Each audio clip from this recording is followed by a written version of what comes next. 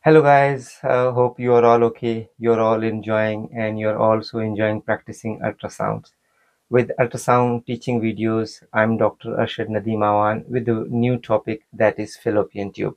As you all know that I have already covered uh, uterus and its different pathologies.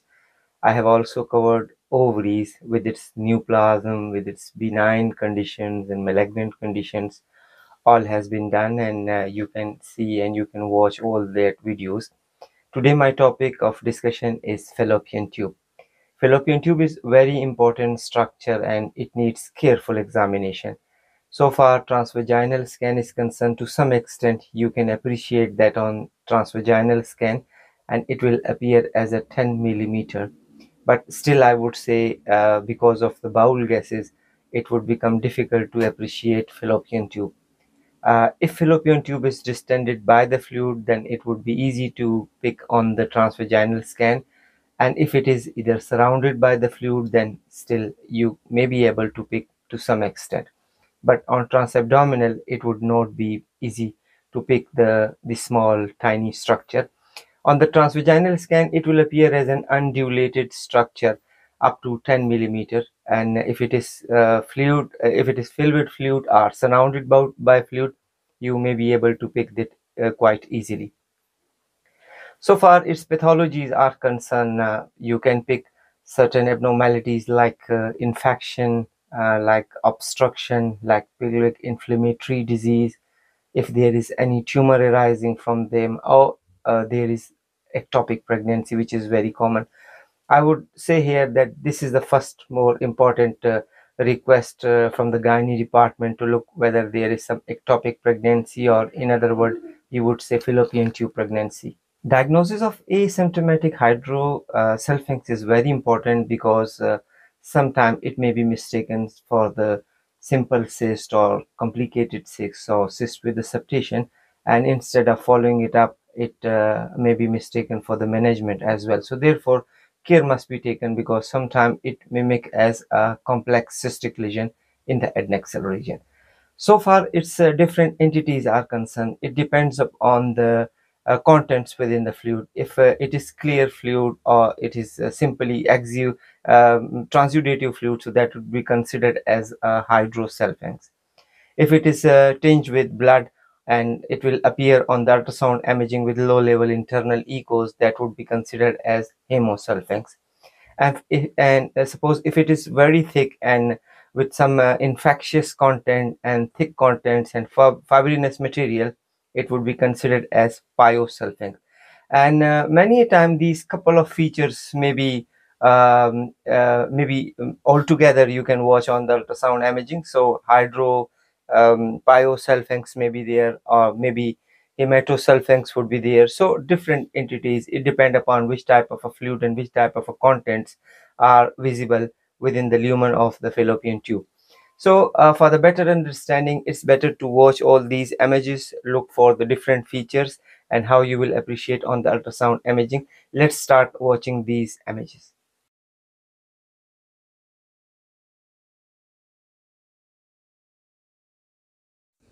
This is transvaginal scan and on this transvaginal scan you can appreciate uh, there is uh, ovary visible and underneath the ovary there is uh, tubular structures continuously from one to another side from right to left and forming a U shape.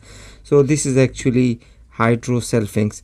Hydrosalpinx on the basis of uh, ultrasound appearance look at there is no internal low level echoes this is clear transudative fluid within the fallopian tube. Normally fallopian tube you cannot appreciate on the transabdominal scan. For on the transvaginal scan, if the tubular structure up to 5 to 8 mm is seen that might likely be fallopian tube. Fallopian tube is only visible when there is fluid within it or fluid around it uh, around the fallopian tube. Uh, always look for the internal contents if there is low level echoes or if there is any debris so this would not be a clear fluid. In case of clear fluid this would be called as hydrosalpinx and for the hydrosalpinx there are multiple reasons.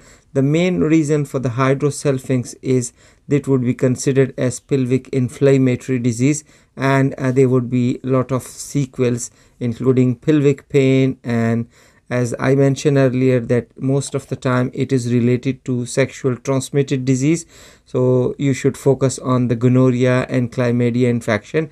Sometimes it would be asymptomatic there will be no symptom at all.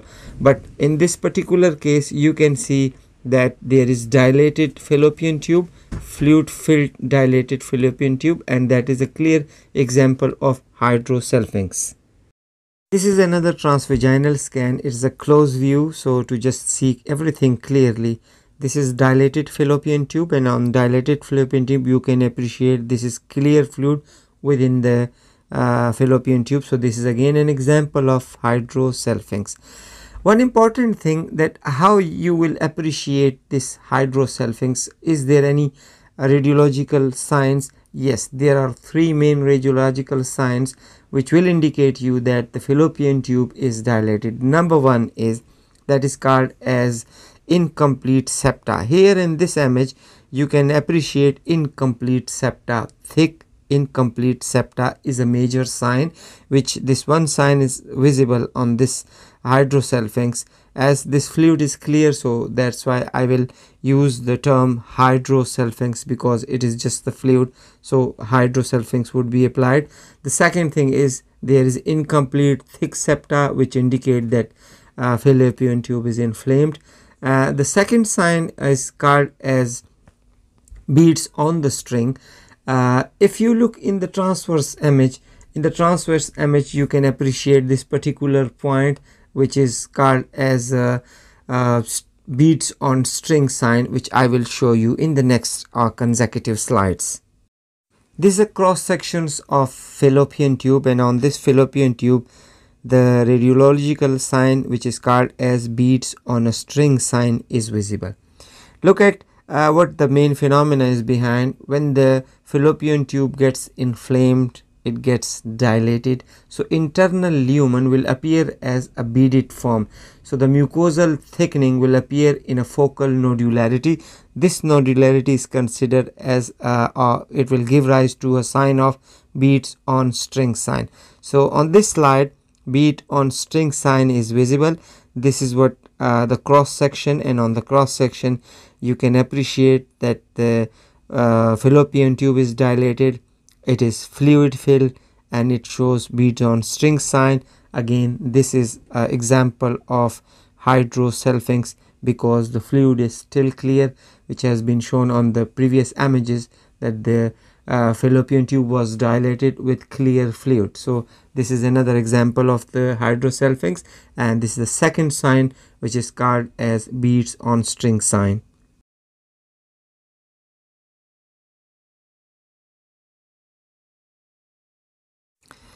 this is another slide in uh, close view in close up. You can appreciate that the fallopian tube is dilated and again there is uh, incomplete septa thickened incomplete septa uh, which is a sign on the feature of dilated uh, fallopian tube and uh, that is inflammation that depict inflammation of the fallopian tube.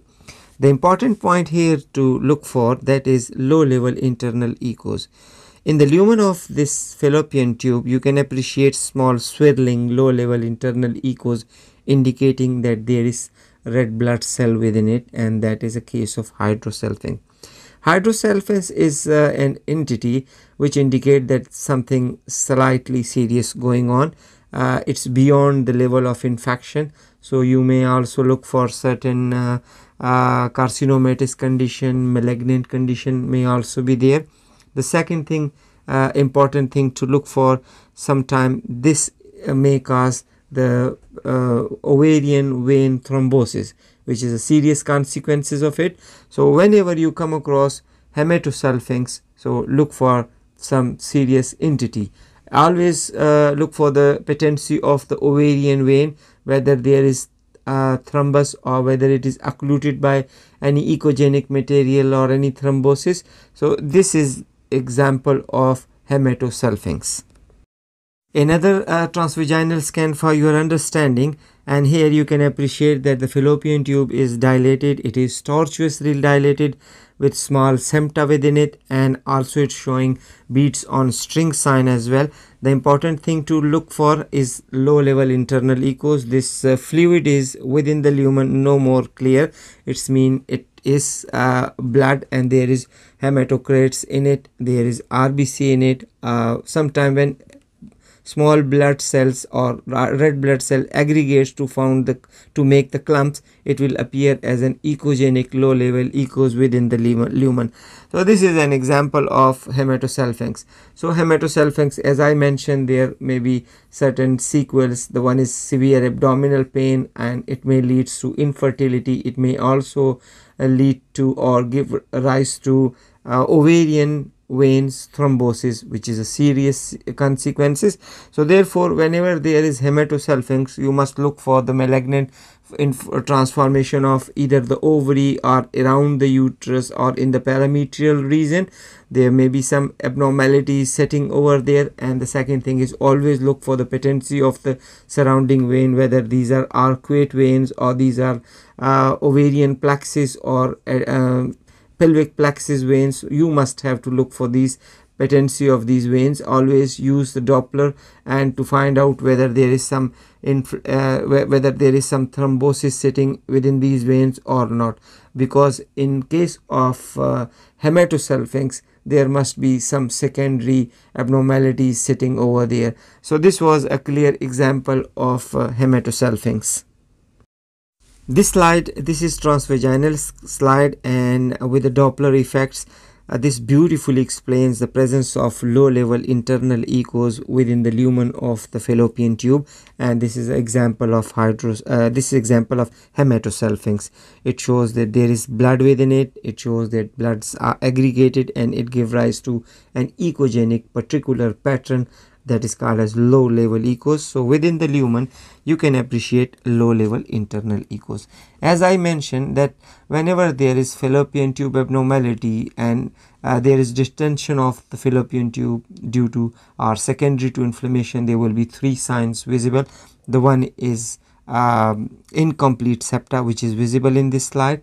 The second is beads on the string sign which is a particular sign for the inflammation of the fallopian tube. And the third thing is cogwheel sign. If these if these incomplete septas uh, are present in a in, in a in a multiple form or more than one or two so this will give rise to a cogwheel appearance. So multiple incomplete septa will give rise to the form of or the shape of um, cogwheel appearance. So these three signs are the signs which are indication of the inflammation of the fallopian tube. Now the contents of the fluid must be looked. If it is clear so you can label it a hydrosalpinx and for the hydrosalpinx this would be due to pelvic inflammatory disease or due to certain other phenomena.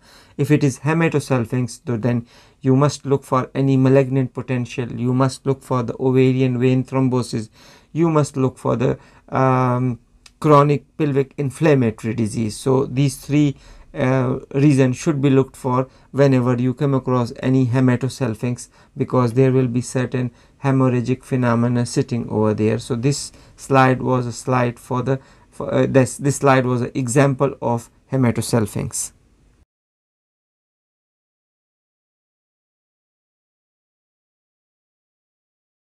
the next category comes as a pyosalpinx. Look for this slide. This is transvaginal scan and on this transvaginal scan this longitudinal tubular structure is dilated fallopian tube.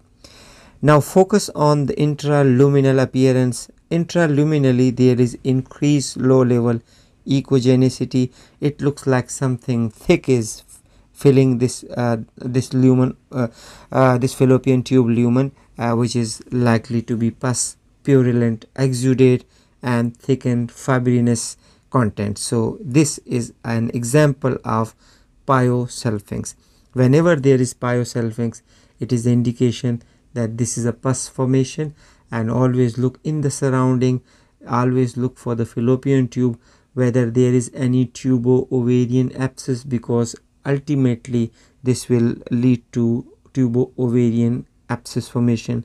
This will leads to adhesion and this will eventually lead to complicated consequences.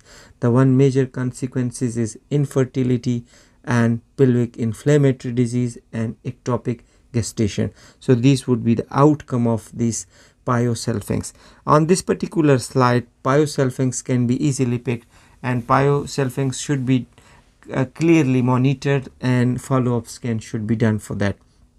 Beside this whenever there is pyosalpinx you must focus on the ovary. Is there any ovarian neoplasm sitting there or is there any in uh, any abscess formation within the ovary or around the ovary or around the pelvic region or around the uh, fallopian tube?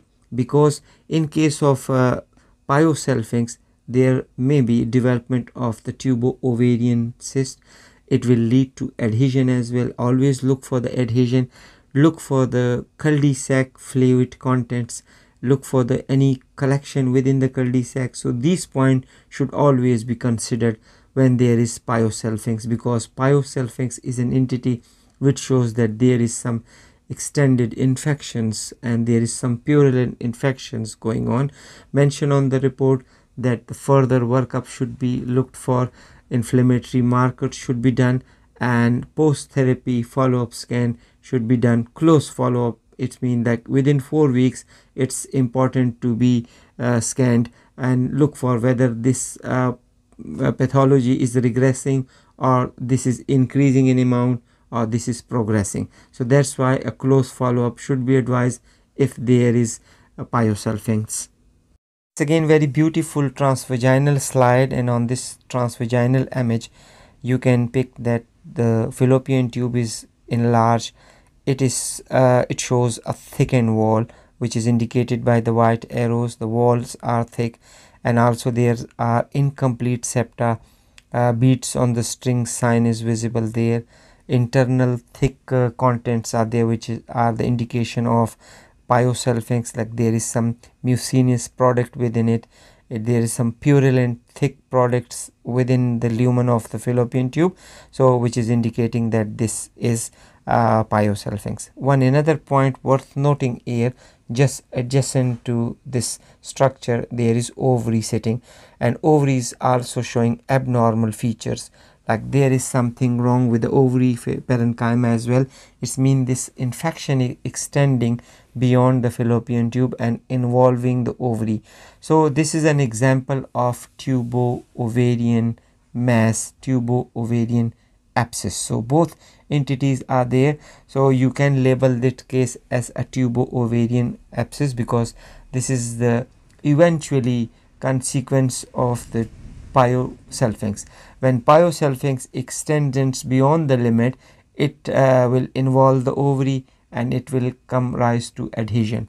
Whenever there is adhesion, it's a great attractive point for the for the uh, tubal pregnancy, for the ectopic pregnancy. And second, there is a great chance of infertility. Patient will remain infertile. And the third thing, as you know that the fallopian tube is uh, lined by ciliated epithelium whenever there is ciliated epithelium uh, this will be this inflammatory process will damage the cilia and as a result there will be uh, infertility and this infertility or this whole phenomena will leads to an abnormal consequences so always focus on the reporting Yes, guys, this was all about the fallopian tube abnormality. And uh, have you seen that how much difficult it is to appreciate on the ultrasound imaging because it does not look like it is a fallopian tube or it might be fallopian tube. Uh, in first glance and first instance, it will appreciate as a complex cystic mass and you're likely to confuse with adnexal uh, cyst, simple or complex cyst. But this is actually what the fallopian tube look like on the ultrasound imaging hope uh, this video would have given you a lot of information regarding uh, fallopian tube abnormalities regarding hematosalpinx and hydrosalpinx and pyosalpinx so all these entities has been already discussed so if in case any doubt or any abnormality you feel you just drop me a message i will get back to you keep watching my videos keep sharing my videos and with some other uh, new topic. We'll see each other. Till then, take great care of yourself. See you then. Bye bye.